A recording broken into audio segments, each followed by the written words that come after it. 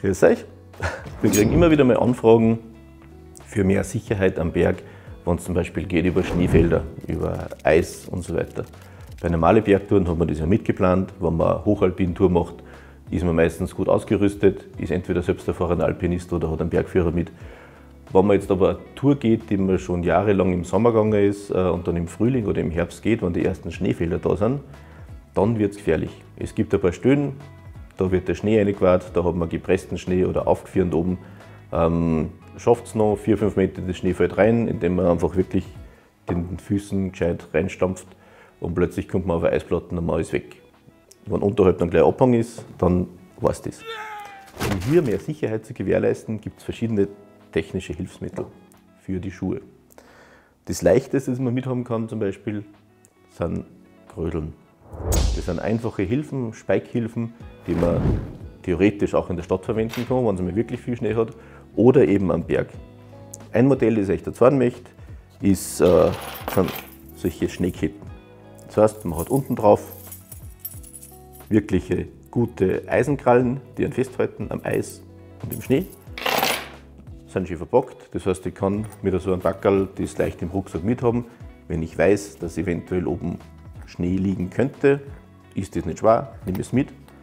Und der Vorteil ist auch die einfache Montage. Das heißt, ich habe einen normalen Schuh, Bergschuh, Wanderschuh, der ist nicht steigeisenfest und gar nichts, hat eine gute Biegung, mit dem gehe ich das ganze Jahr über. Und zur Not tue ich das dann drauf. Brauche keine Vorkenntnisse. Die sind ganz einfach zum drüberziehen. Das heißt, ich nehme den Schuh. Ich sage es euch gleich, leichter ist, wenn man Schuhe auszieht. Es geht auch anders. Aber so kommt man einfach besser zusammen. Es gibt verschiedene Größen bei diesen Rödeln. Ich ziehe das dann einfach drüber.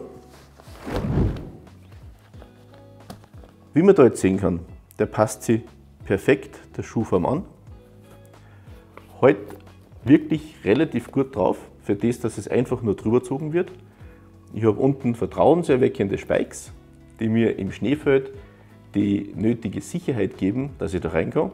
Also es ist jetzt nicht für äh, Steileisflanken gemacht, sondern wirklich für Schneefelder mit einem leichten Gefälle oder für die Stadt. Und mit dem bin ich auf alle Fälle sicher unterwegs. Und für alle Bereiche, für denen Grödel nicht mehr reichen, wo man weiß, es gibt sehr große Schneefelder oder es ist komplett noch schneebedeckt, ähm, weil der Berg so hoch ist oder weil man halt im Winter viel draußen ist, dann ist es empfehlenswerter, man nimmt Steigeisen mit. Die sind einfach nochmal massiver und halten je nach Bauart auch besser am Schuh. Da gibt es verschiedene Typen. Wir haben einmal beginnend das Körbchensteigeisen. Das Körbchensteigeisen hat hinten ähm, eine Plastikbindung, nennen wir es mal so, und vorne auch.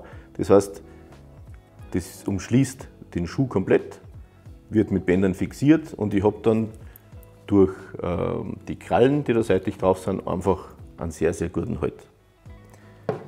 Die nächste Festigkeitsstufe sind dann semiautomatische Steigeisen. Semiautomatik heißt, ich habe vorne wieder mein Kunststoffteil für ähm, den Zehenbereich des Schuhs. Das ist für alle Schuhe, die keine Aufnahme für Kipphebel vorne haben. Ich habe aber hinten schon meinen Kipphebel. Durch diese Fixierung habe ich einen für ein bisschen Halt drinnen im, ähm, zwischen Schuh und Steigeisen als mit dem Körbchensteigeisen. Braucht dafür aber ein Modell, das diese Kipphebelaufnahme an der Sohle hinten hat. Und das dritte Modell, das wir hier haben, ist dann sozusagen das am besten hält. Ich habe vorne Kipphebelaufnahme für den Schuh und hinten. Das heißt, äh, die Sohle muss aufgebaut sein, dass ich vorne und hinten in diese Drahtbügel reinkomme. Dort habe ich den besten Halt drinnen. Allerdings braucht der Schuh dafür auch diese Aufnahmemöglichkeiten und die Schuhe für das sind schon ziemlich schwer und anspruchsvoll. Weitere Kleinigkeiten, die wir haben, wenn sich jemand sowas das erste Mal zulegt, Steigeisen gibt es immer für rechts und links. Das ist ein Paar. Man hat immer 50-50 Chance, wenn man es das erste Mal anzieht, dass man richtig liegt. Aber die sind, wie man es da jetzt sieht, gebogen. Ich habe da drinnen eine Biegung, die geht noch so. Das heißt, das ist links und man sieht es auch, weil von der Bindung her oben das Teil außen ist. Das ist ganz wichtig. wenn ich innen binden würde und ich gehe eng beieinander vorbei, dann kann ich mit meinen eigenen Knoten da hängen bleiben. Und das lässt mich vielleicht stürzen an einer blöden Stelle, deshalb ist das außen. Ja, weiter sind da unten drauf, wie man sieht, Aufstollhilfen. Das heißt, ähm, Anti-Stollplatten sind Gummiteile, die sind elastisch, die sorgen dafür, dass der Schnee nicht bicken bleibt oder weniger bicken bleibt und gleich wieder mal abfällt. Es gibt Steigeisen mit und ohne und es gibt diese Teile auch zum Nachkaufen. Kann ich echt empfehlen, meistens, wenn der Schnee so batzig wird, wenn man im Frühjahr rausgeht, ihr kennt es vielleicht an die eigenen Schuhe, ihr geht raus und nach 10 Meter steht es nicht mehr so, sondern so da, weil es im Fersenbereich schon 5 cm aufgestellt ist. Das ist im alpinen Gelände natürlich extrem gefährlich, weil ich den Grip verliere. Deshalb sind diese Anti-Stollplatten da unten drauf, die verhindern das. So, jetzt möchte ich euch sagen, wie man die Steigeisen an den Schuhen anbringt, wie man es anzieht sozusagen. Ähm, alle, die es schon haben, die wissen sehr, wie es geht. Und für alle, die gerade anfangen wollen, ist das vielleicht die erste Möglichkeit, dass sie es einmal sehen können. Vom Prinzip her, ich habe da jetzt verschiedene Schuhe. Da habe ich einen Schuh, der hat weder vorne nach hinten eine Kipphebelaufnahme. Das heißt, auf einen so einen Schuh kann ich entweder Krödel draufgeben oder eben, wenn ich es dann ein bisschen massiver brauche, Körbchensteigeisen. Der Schuh ist schon recht hart, das heißt, ich habe von der Sohle her die Stabilität, die ich brauche für das Ganze und dann wird das da eingefädelt. Wichtig ist einmal, rechts und links unterscheiden. Man erkennt es gleich einmal, links ist dort, wo die Bindung links außen ist oder die Schnürung und außerdem ist es gebogen. Das heißt, ich habe eine Biegung so, das kann nur links sein. Ich muss die Länge einstellen. Alle Steigeisen lassen sich der Länge noch verstören, dass auf verschiedene Modelle draufpassen. Das heißt, man kann auch Familiensteigeisen haben, das von verschiedenen Geschwistern, Söhnen, Papa, Großvater, was immer genutzt wird, wenn man nicht gemeinsam geht. Es wird ganz einfach da hinten ein Hebel rausgezogen und dann kann ich diese Steigeisen der Länge noch verstören. Das muss ich quasi richtig auf meinen Schuh anpassen, damit das dann raufpasst. In dem Fall habe ich dann rechten Schuh, also nicht mehr das rechte Steigeisen. Vorne habe ich nur mein Kunststoff halt. Ich schiebe den Schuh ganz nach vorne. Das Steigeisen habe ich die Länge noch vorher schon richtig eingestellt. Und jetzt habe ich da drauf eine Bindung, die ist zum Schnüren. Das heißt, ich fädel die einmal vorne durch, weil ich vorne ja einen Halt brauche. Das ist jetzt die Verbindung, die mir hilft, dass mein Schuh mit dem Steigeisen Stabilität kriegt. Vorne durch und dann seitlich durch diese zwei Metallteile. Das ist immer ein bisschen ein Gefudel, bis sich das ausgeht. Da herum geht es leichter, als wenn man dann natürlich am Berg schon im Eis sitzt. Aber da kommt keiner drum rum. Das ist so. Diese Verschlüsse sind selbstklemmend. Das heißt, ich ziehe das, ich fadel das einmal durch, ziehe das ganz nach vorne so fest wie ich kann. Und das gibt mir schon mal einen massiven Halt da drinnen. Es bleibt dann da noch einiges über. Da gibt es jetzt die verschiedensten Möglichkeiten, wie ich mich weiterhin fixiere. Eine gute Möglichkeit ist natürlich, dass ich es vom Rist her mache. Ich kann entweder vorne nochmal durchgehen oder da direkt drüber. Ich habe meistens noch die Möglichkeit von verschiedenen offenen Ösen, die ich dann nochmal rüberziehen kann und auf der anderen Seite nochmal fixieren. Und mit dieser Verbindung, die ich dann da habe, habe ich einfach eine optimale, einen optimalen Halt in diesem Eisen drinnen. Ohne dass ich mir einen Schuh zulege, der jetzt die Möglichkeit hat für die ähm, Bügelaufnahme vorne und hinten, aber vom Prinzip her zu schwer ist für meine Wandertouren, die ich benötige. Das heißt, mit einem guten Wanderschuh kann ich mit einem Körpersteigeisen schon sehr, sehr viel machen im Berg. Das war sozusagen die erste Möglichkeit. Dann haben wir die zweite. Das ist jetzt ein Schuh, der hat vorne immer noch keine Kipphebelaufnahme, aber hinten, man erkennt es, der hat eine richtige Stufen drinnen in der Sohle. Das heißt, mit diesem Schuh kann ich ein semi-automatisches Eisen hernehmen. Auch da ist wieder dasselbe. Das heißt, immer schauen, rechts oder links. und kann das dann dementsprechend anbringen. Das semiautomatische Steigeisen, das wir hier haben, hat auch wieder vorne Körbchen, hinten aber schon die Kipphebelaufnahme.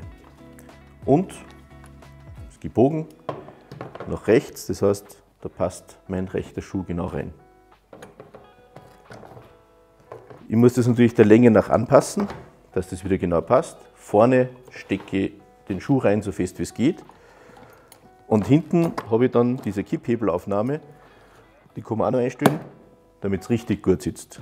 Wenn es einmal so klappt, wie es da jetzt dieses Puff gemacht hat, sitzt es auf jeden Fall. Der Halt, den ich da drin habe, ist natürlich schon mal besser als der Halt, der halt den ich in einem Körbchensteigeisen habe. Meistens sind aber die Schuhe hinten mit der Kipphebelaufnahme schon mal steifer als die ohne. Das heißt, ähm, mehr Komfort hat man meistens in einem Schuh ohne Kipphebelaufnahme. Der ist dafür besser im hochalpinen Gelände oder für lange Touren, die ich mache, wo ich die Sicherheit benötige. Dann ist vom Prinzip her genau das gleiche. Ich habe wieder meine Schnürung, mein Bandel. Das muss ich da vorne durchschnüren, dass ich mich wieder verbinde. Schuh und Steigeisen sollen möglichst eines werden. Habe auf der Seite wieder meine Schnallen. Die kann ich natürlich weiter noch vorschieben, je nachdem, wo ich es gerne haben möchte. Einmal durchgefadelt.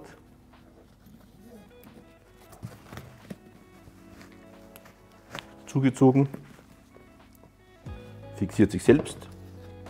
Kann dann natürlich auch noch zur Sicherheit nochmal durchfahren und einen leichten Knopf drauf machen damit es hält und den Rest dann durch Schlaufen einfach ähm, so machen, dass man nicht mehr stört. Auch da sieht man wieder, die Möglichkeit zum Klemmen ist außen, somit habe ich die Steigeisen richtig angezogen. Wenn beide das innen haben, hat man es falsch. Und die dritte Möglichkeit ist dann die stärkste. Wenn ich dann Schuhe habe, wie diesen Hochalpinschuhe, die haben vorne eine Kipphebelaufnahme oder Drahtbügelaufnahme und hinten die Kipphebelaufnahme, die das andere Modell auch schon hat. Hier kann ich dann Automatik Steigeisen verwenden. So. Jetzt hört man wieder das Plopp. Da muss ich dann vorne nicht mehr rüberfahren, weil ich vorne ja totale Fixierung auf der Sohle habe. Das heißt, ich kann gleich da oben rüber und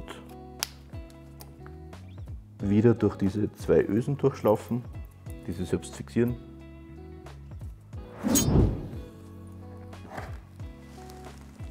Und zuziehen. Jemand, der vorne das Gefühl haben möchte, dass er auch noch was hat, kann natürlich das auch nach vorne ziehen und wieder zurück.